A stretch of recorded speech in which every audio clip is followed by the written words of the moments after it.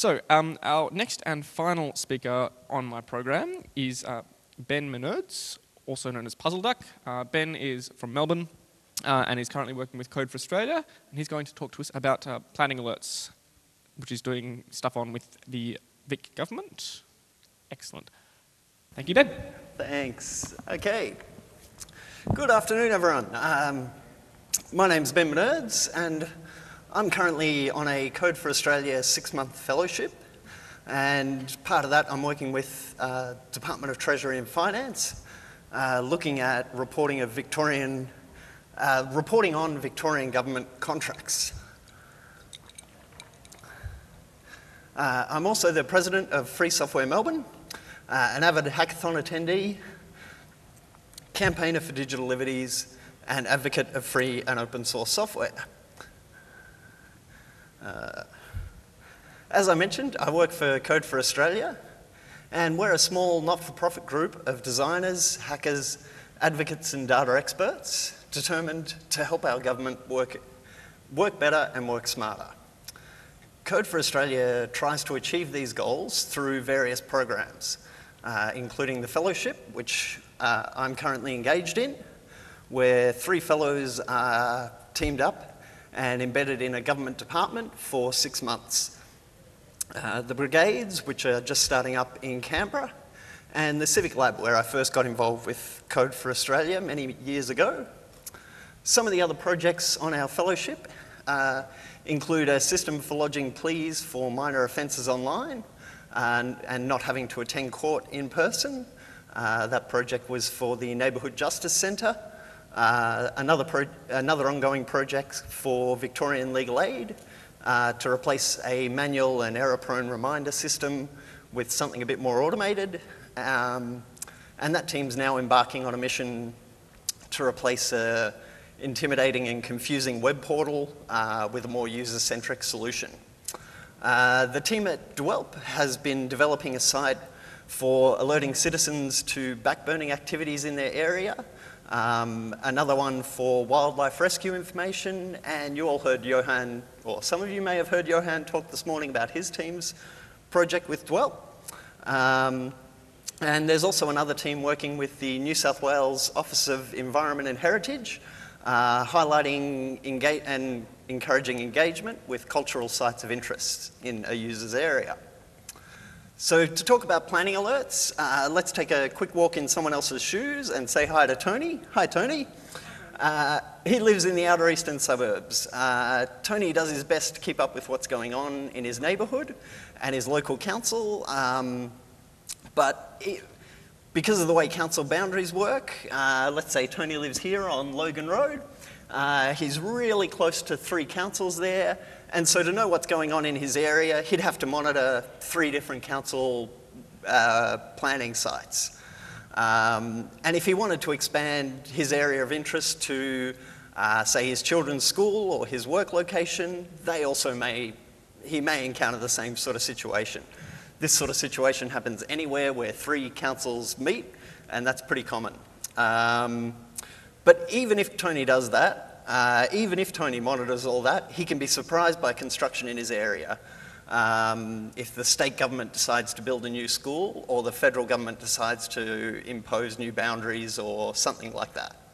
Um, how could someone keep up with it? Planning alerts is part of the answer. Uh, in 2006 in the UK, on, at the Forum on Civic Information 2, um, Richard Pope first introduced his work on screen scraping that would go on to become the UK planning alerts. Um, in Richard's own words, uh, talking about his own council's website, uh, it's quite good, but it requires active participation. Uh, it suffers from the Arthur Dent syndrome. Uh, a web scraper is a script, just to fill anyone else in who isn't uh, up with that, is a script that runs usually on a regular basis uh, to request data from the web, request websites, um, and digest that information into a more useful format for the user, so, such as a database or plain text. Uh, initially, Paul, uh, initially Richard's uh, project was just a humble PHP scraper and covered only a single council. Uh, but gradually the project gathered pro uh, followers and volunteers. Uh, Richard describes its functionality as a, a simple screen scraper that grabs the planning applications from Lambeth Council website, uh, emails the details to a mailman mailing list uh, with links to council feedback, further info and maps, and converts all those links into tiny URLs, so they're really easy to share. Uh, over the following years, with support from mysociety.org and significant contributions from Michael Marin, Sam Smith, Duncan Parkes, Tom Hughes, and Andy Armstrong, and an army of scraper writers, the UK version grew to cover hundreds of councils and serve thousands of users and continues to be adapted and updated. Uh, it's now known as Planning Finder, and we'll get back to what they're doing a little bit later. Uh, but a couple of people adapted a version for Australia, uh, Matthew Landauer and Katherine Szuminska. You'll have to forgive me for any names I murder. I've only ever met these people on the internet. Um, and by 2009, the Open Australia Foundation were announcing the launch of their new website, Planning Alerts. Uh, the project was funded by the Open Australia Foundation, uh, but received a little Kickstarter funding from the Government 2.0 Task Force. Um, but as we heard earlier today, that didn't last very long. Um, but took, started out by targeting the most populous areas in Australia. So it began with only 50 councils and authorities, uh, but they were the most concentrated in large populous areas. So uh, Open Australia have also made it uh, fun and rewarding to get involved uh, by sending out these kind of tweets once you write a scraper, uh, noting sort of how many people could be serviced by this scraper, um, along with the fact that just all of Australia is serviced by it. Um, uh, there's also uh, bulk download and APIs provided uh, on the platform, which we'll take advantage of later. Um, and, uh, and also, uh, an Android app was even developed by James Purser and presented at LCA a few years ago. Um, but that appears to have fallen on hard times. So if anyone's looking for an Android project, that could probably use some love. So my introduction from planning alerts was through an open knowledge meetup in Melbourne. Uh, I'd had some interest and experience writing uh, a couple of web scrapers in Java. Uh, and so the meetup titled Learn to Scrape Open Data from Any Website caught my eye. Uh, on the night, uh, Henare, uh, Degan took us through uh, a lot of the Open Australia projects, um, such as They Vote For You, uh, and planning alerts, and also took us through the functionality of a simple scraper, and demoed a, a simple, uh, walked us through the code of a simple scraper. Um, which brings us to what makes planning alerts tick. So uh, under the hood, originally planning alerts ran on ScraperWiki version 1 and version 2, as you'd expect those versions to go. Um, and the ScraperWiki platform emphasized the collaborative nature of the development. So all of the source code was exposed in a, in a wiki page for, that people could edit um, and had a button that you could press to trigger the scraping and a display for what what your scraper had done. So there was no local processing required. Uh, unfortunately, it has been superseded by Morph.io um, and now lives on as just a Ruby library to simplify the scraping. Um, advantages of Morph.io, though, are pretty good. Uh, allows for a more diversity in technology, so uh, Python, PHP, and Node are all also supported. And I have no reason at all to tell you that uh, Morph.io heavily uses Docker, other than that image. I could not resist putting that in somewhere. Anyway, uh, I can't remember why the scraper I started on that first night didn't work, um, but when I look back in the Git repository, the last commit is first run at a scraper, destined to fail. And it doesn't even try to write data. But uh, about a week later, I had another go and succeeded at getting the Burdekin Shires uh, Council announcements on the system. Uh, this seemed to be exactly what I was looking for in a, in a hobby project. Uh, nice little bite-sized chunks of code, uh, achievable goals, uh, lots of similar examples lying around, other languages not to try, what more could I want? Um, and a couple of my early attempts succeeded, uh, and I was enjoying the feeling of getting something done and sort of achieving something, which you don't always feel like you're, you're doing. Um, and I figured if, if this sort of local council construction was a good thing, then statewide construction would be a much better thing. Um, but before we get into statewide construction, uh, I just thought I'd take you through a simple example of a scraper on Morph.io. So we can see, because I'm the owner, I can start and stop the scraper. Um, it displays the README and a few of the settings. Um, it'll then give us a list of the contributors, and you'll note there's two contributors here. So this uh, scraper in particular, uh, the council changed their website format and it stopped working. And I was incredibly busy at work and didn't get around to fixing it. And about three weeks later, this guy submitted a, a fix for me. So, and I think it's interesting to note down the bottom, they, it shows you who's downloaded the data ever. And it, it's interesting to note that the the two of us who scrape, who've uh, technically inclined to scrape this data aren't actually inclined to use it. And the guy who's inclined to use it, I've, I've checked out his repos. He's not a programmer. He cannot scrape data. Um, so, and, th and this is a principle that's really hard to explain to the government, that just because I'm, uh, I'm capable of accessing this data and, and digesting it, doesn't mean I'm the best person to analyze it that's probably a data scientist. And that data scientist probably can't scrape web pages. So, you know, we, we want this data in an accessible format so people who aren't like me can use it as well. Um, so we get a, also on Morph.io, we get a little uh, extract of the data so we can have a look at what it's going to look like. A few statistics, and then the past runs. So you can see uh, via the scroll bar, we haven't gone down very far. This scraper's been running for a year, and you can see what happened every single day uh, that it ran. So back to Tenders Vic. Uh, it didn't go well.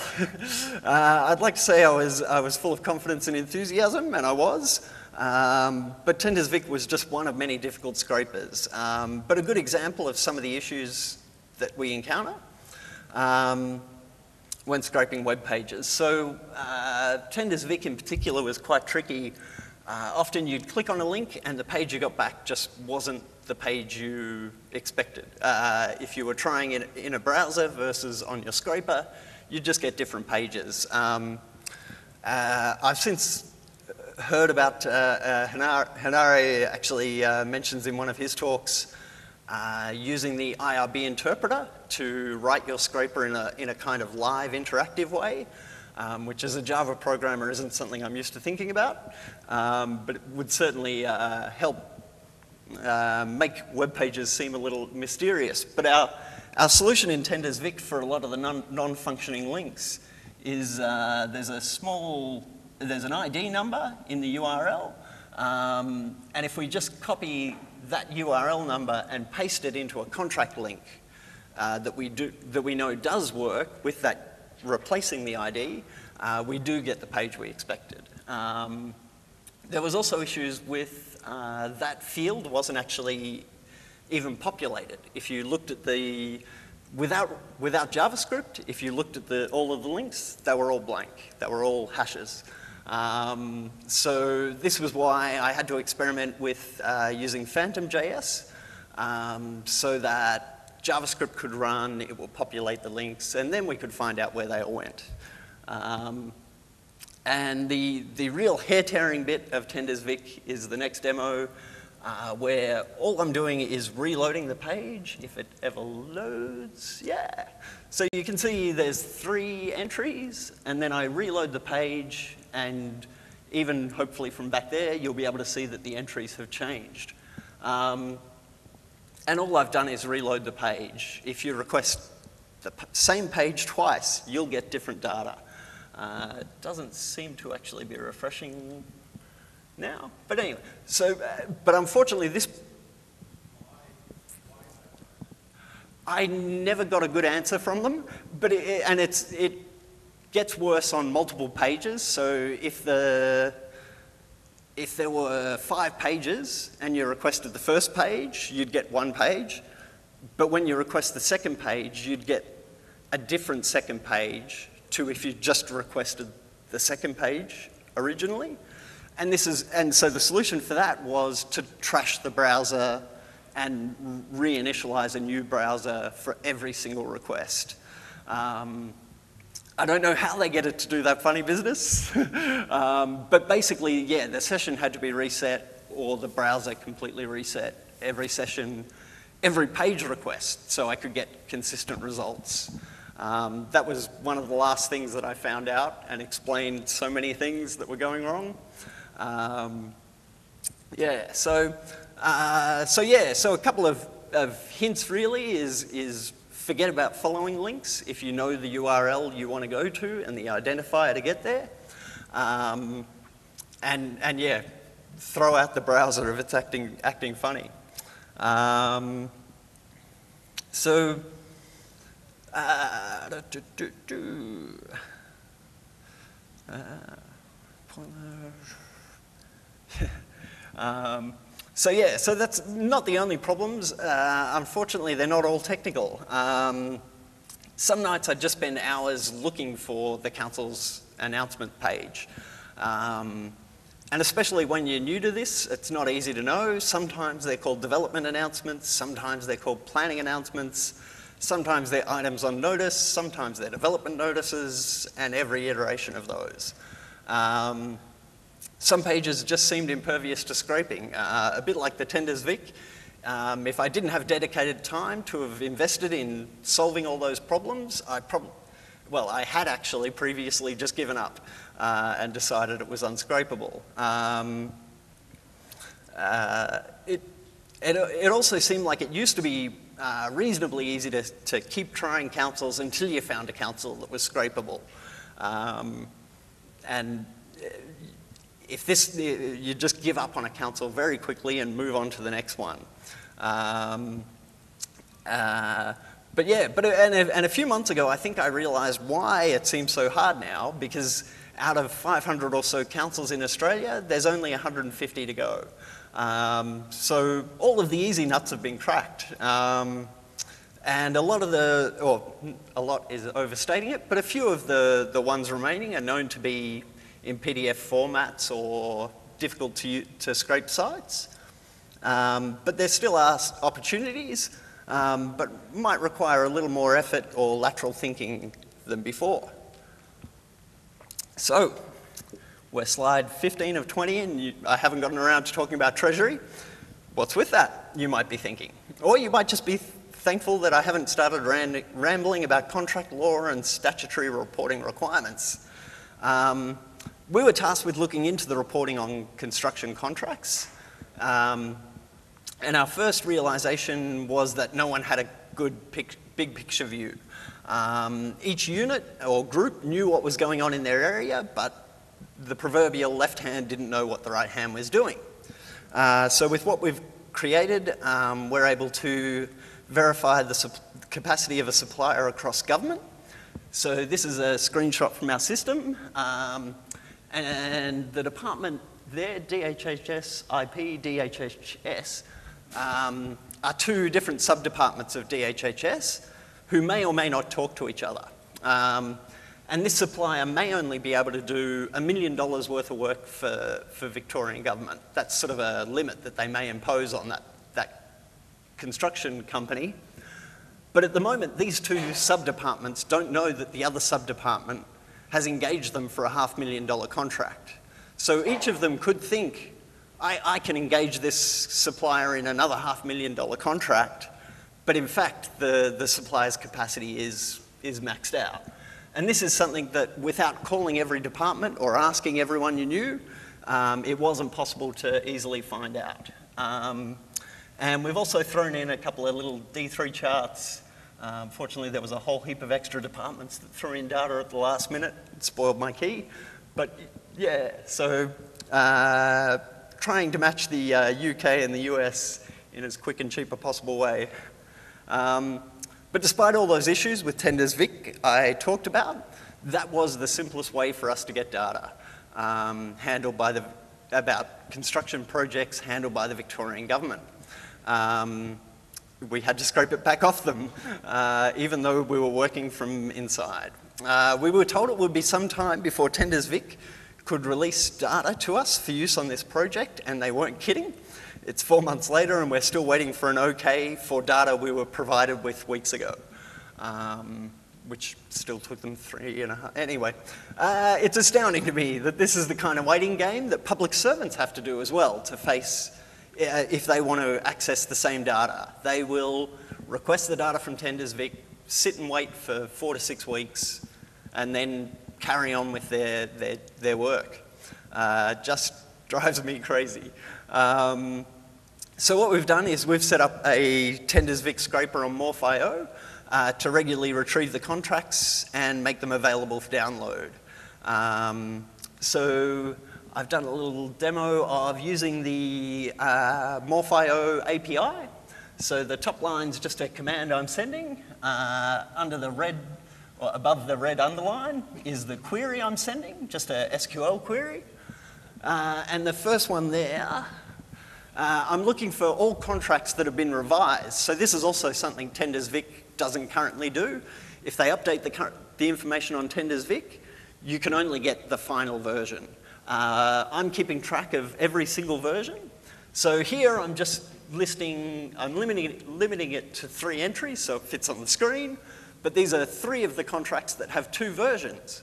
So let's take uh, 374431 and have a look at that. Uh, unfortunately, it's not a very interesting change. It's from current to expired. Um, but I, I, stumbled across a rather more interesting change while I was doing some research. So the second query uh, takes a look, and you'll notice that revision 1 and revision 2 have different phone numbers. You'll also notice revision 2 has a nine-digit phone number. Interesting. I don't think they exist. But anyway, um, so yeah, we can now analyze what happens to a contract over its lifetime, at least as far as it's published. Um, I do want to get, I do want to encourage you to get involved in uh, screen scraping and planning alerts, um, but be warned, maybe it won't be as easy as, as it has been. Um, many councils will have issues or be PDFs or be tricky in some other way. Um, but still, a lot of a lot of work can be done just uh, finding the planning announcements for councils and adding them. There's a, a document, a uh, in the planning alerts introduction material. There's a document where crowdsource, where we've crowdsourced a whole lot of information about councils, um, and just finding the council planning alerts site, uh, council's announcement site page, and linking to it there um, would help people concentrate on what they're doing.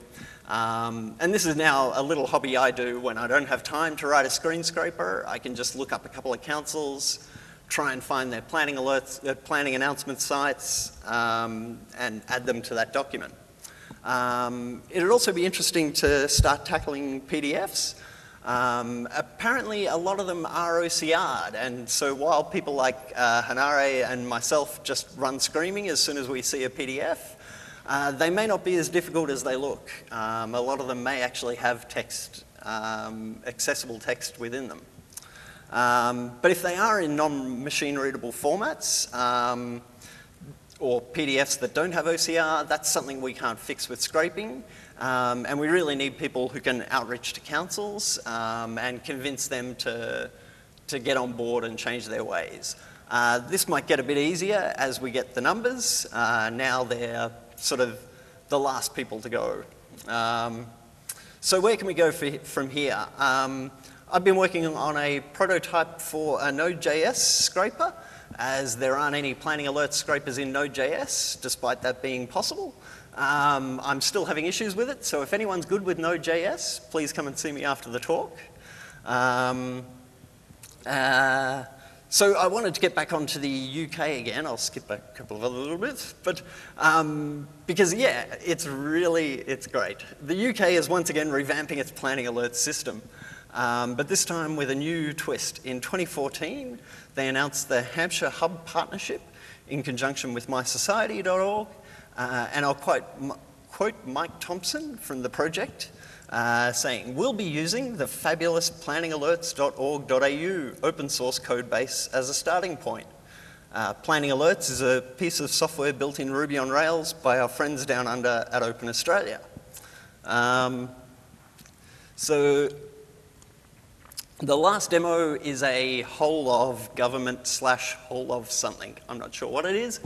So this is a data set I've, I've put together from TendersVic, AusTenders, and the council scraping sites. So uh, using Planning Alert's Melbourne scraper, uh, I've downloaded all the Melbourne data and, as I said before, the Vic and, and AusTenders uh, data.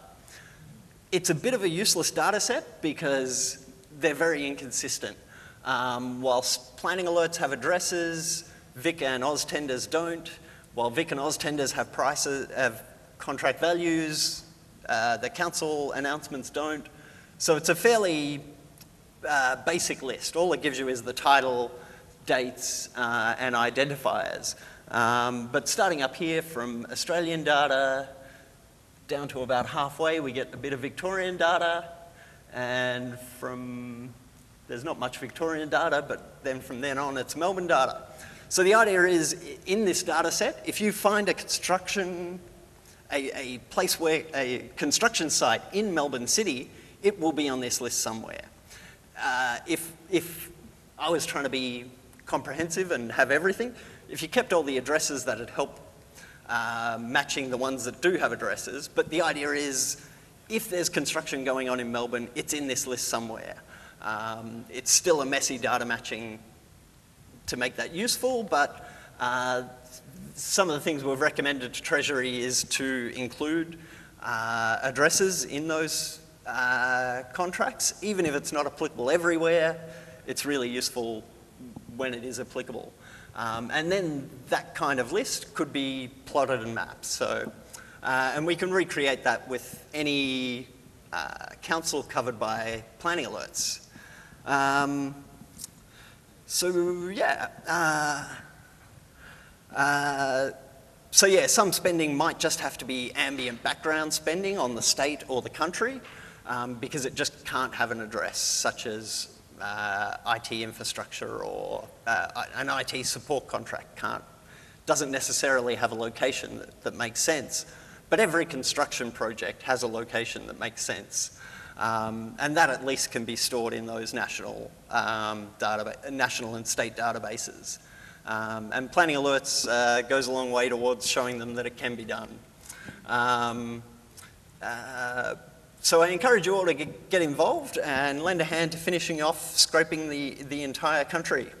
Um, demanding data from the councils, developing data standard adapters, tools, or writing your own apps with the Planning Alerts API. Um, for this talk, it was the first time I played around with the API, uh, really fun. Um, and yeah, certainly something I'm going to be doing in the future. Um, and yeah, if you're super dedicated and motivated about opening data and, and making government work better, I'd encourage you to consider joining the fellowship program and get out there and make a difference. If you want to hear more about the fellowship or scraping, come and see me after the talk. Uh, I've got stickers too. Uh, thank you very much.